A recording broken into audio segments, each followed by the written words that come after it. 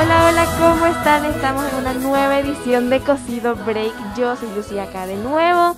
Y hoy estamos eh, desde el colegio, desde Radio Cast, con la profe, la, la invitada, ay, perdón, con la profe invitada. Bueno, yo soy la profe Crista, yo soy bióloga y acá en el colegio estoy enseñando a los más pequeñitos todo lo que es laboratorio. Entonces hacemos experimentos sobre cosas relacionadas a la ciencia y ya con los más grandes enseño ciencias naturales y también biología. ¡Qué lindo! A mí me gustan mucho esos temas. y bueno, profe, me encanta a mí mucho. ¿Qué vamos a ver hoy? Hoy les voy a contar un poco sobre qué es la genética. ¡Wow! ¡Qué lindo todo!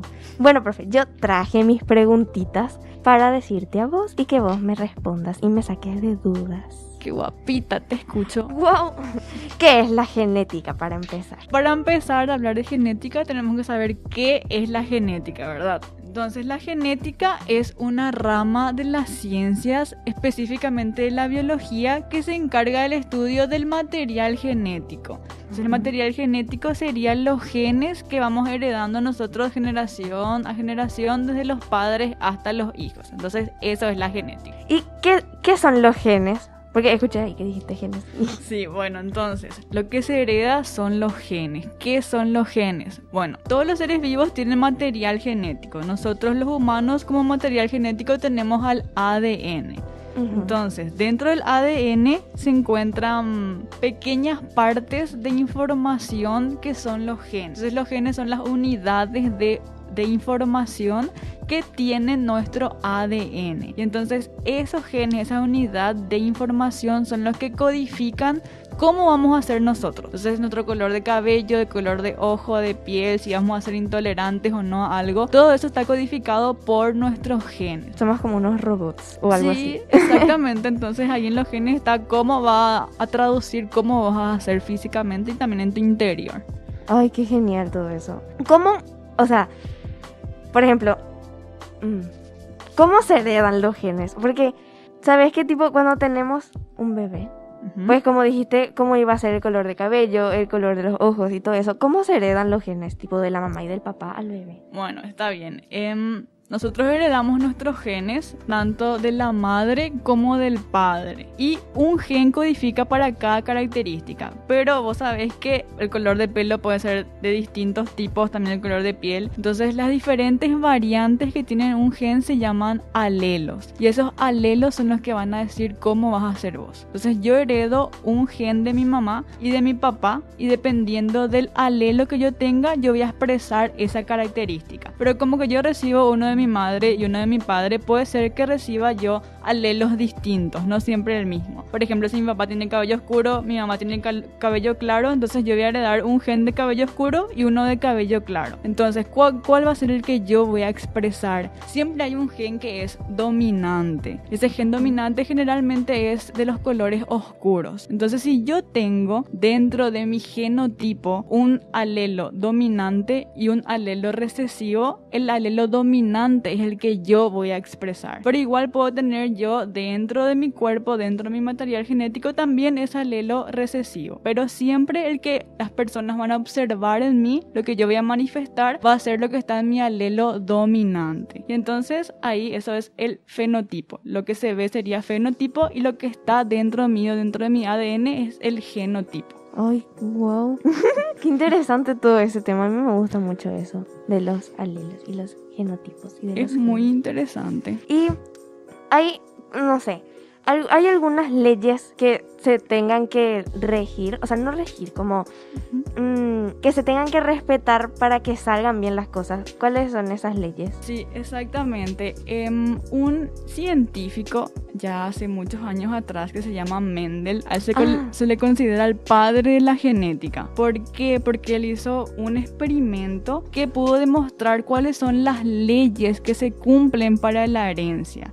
Te voy a contar un poquito cuál fue el experimento que hizo Mendel para sacar Ujú. sus leyes. Entonces, él trabajó con plantas de arveja. Las plantas de arveja tienen diferentes características, hay algunas que tienen flores de color lila, otras de color blanco, tallos largos, tallo corto. Entonces, él quería ver qué pasaba si es que combinaba esas características. Entonces, ponerle que eligió eh, una flor de color lila y una flor de color blanco. Entonces, él quería saber si es que cruzaba esas dos plantas, qué iba a pasar en la descendencia, cómo iban a ser sus hijos. Entonces, este experimento a él le tomó como más de 8 años. ¿Por qué? Porque él sacaba el polen de la planta de color lila la llevaba hasta la planta de color blanco y tenía que esperar que eso dé su fruto, que de ahí salgan las semillas, volver a plantar otra vez, esperar que crezcan y ahí para ver cómo se comportaba esa descendencia. Por eso le tomó más de 8 años. Entonces así él pudo observar cómo se comportaban esos genes al heredarse de padres a hijos. Entonces, ¿cuáles son las leyes? La primera ley que Mendel pudo descubrir gracias a su experimento es que si los padres son homocigotas, quiere decir que tienen solamente un tipo de alelo del gen,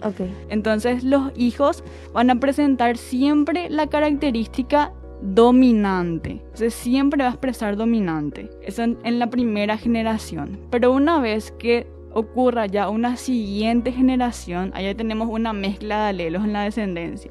Entonces ahí puede pasar que una de 16 probabilidades se pueda expresar mi gen recesivo. Entonces ponerle que en mi primera generación salieron todas mis plantas de color lila, que es mi dominante. Después yo vuelvo a cruzar otra vez eso y en mi segunda generación ya puedo tener yo plantas de color lila y una que sea de color amarillo. Entonces esa es la segunda ley de Mendel, que dice que en la segunda generación ya se puede ver también ese alelo recesivo que está en el genotipo. O sea, que no importa la cantidad de generaciones puede ir, o sea, se pueden presentar, ¿cómo era? Genotipos Sí, los genotipos. de eh, generaciones pasadas. Sí, exactamente. Entonces, yo si tengo guardado eso dentro de mi ADN, en algún momento puedo, mi generación puede expresar otra vez. Entonces, así se comportan los genes para la segunda ley. Y la tercera y última ley de Mendel dice que los genes se heredan de manera independiente unos de otros. Entonces, no quiere decir que si mi planta es lila, siempre va a tener el tallo largo o siempre va a tener, no sé, semillas de color verde. Entonces, una planta que sea de color lila puede tener tallo corto. O sea, los genes son independientes unos de otros. Ok. Se dice la tercera ley de Mendel. Qué genial todo eso. Y el material genético, que mm, se puede romper, ¿verdad? ¿Qué pasa cuando se rompe?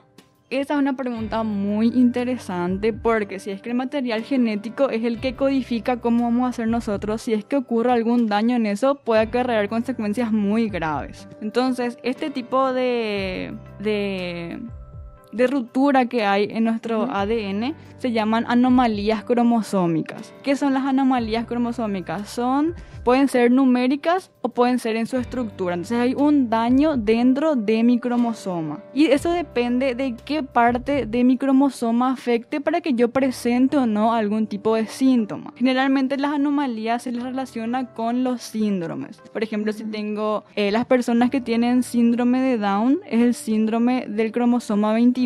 Nosotros tenemos en total 46 cromosomas que están divididos en 23 pares. Entonces, ¿qué pasa con las personas que tienen síndrome de Down? Tienen un cromosoma de más. Entonces, en vez de tener dos cromosomas número 21, tienen tres cromosomas 21. Entonces eso después ya afecta a cómo se desarrolla esa persona, ya acarrea algo diferente. Y lo mismo si es que se rompe mi material genético. Si mi ADN se rompe, si mi cromosoma se rompe, ¿qué pasa si es que eso afecta justo en el gen que me ayudaba a absorber algún tipo de nutriente? Después cuando yo crezca voy a tener una insuficiencia para ese nutriente en mi cuerpo. Entonces depende de qué parte del cromosoma sea el dañado para que yo pueda presentar o no algún síntoma o alguna enfermedad. Pero puede pasar también el caso de que mi cromosoma se rompa justo en una parte donde no había ningún gen. Entonces ahí no pasa nada, está todo bien. Ah. Pero lo que pasa si es que afecta ahí, cuando codifica lo importante, ahí sí ya puede ser grave la cosa. Ay, qué interesante. Me gusta mucho el tema este. Creo que voy a investigar más sobre eso.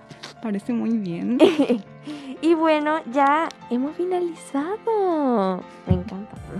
Y bueno, profe, esto me encantó mucho la charla. Muy, muy interesante. Me gustó mucho. Y, y ya. Muchísimas gracias Lu por la invitación. Me alegro mucho. Y bueno chicos, ya hemos terminado, así que espero que les haya gustado muchísimo y saben que pueden eh, escucharnos desde la plataforma de Spotify y YouTube, creo también. Y bueno, eh, muchísimas gracias y ya está. Chao.